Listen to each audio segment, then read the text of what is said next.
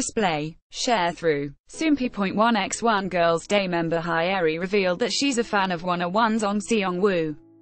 See also, Park Ji-hoon's agency revealed several malicious commenters have been convicted 101 members Ong Seong-woo and Lee Dae-hwi appeared as guests on the July 7 episode of TVN's Amazing Saturday. Soompi. Display, News. English .300x 250, BTF Soompi.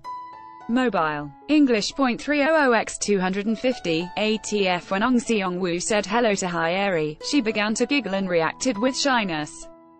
Hyeri said, I was a fan of Produce 101, Ong Seong-woo was my one pick, and Ong Seong-woo commented, Hyeri helped me debut.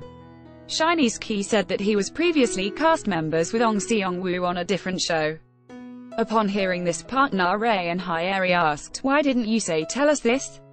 Do you know his number? Key jokingly expressed sadness at their different reactions towards him versus Ong Seong-woo despite the fact that they're both idols. Ong Seong-woo also shared a story of how Key took good care of him on the other show.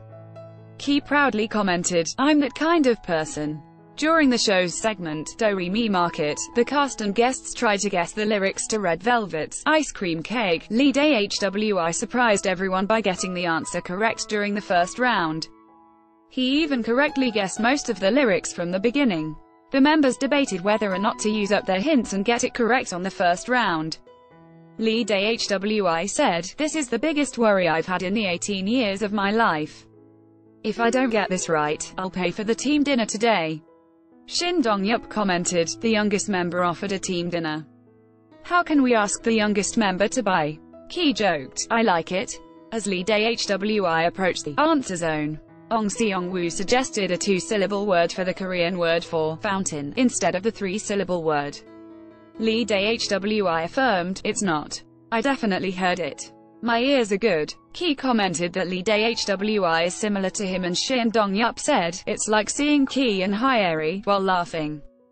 Amazing Saturday, airs on Saturdays at 11 p.m.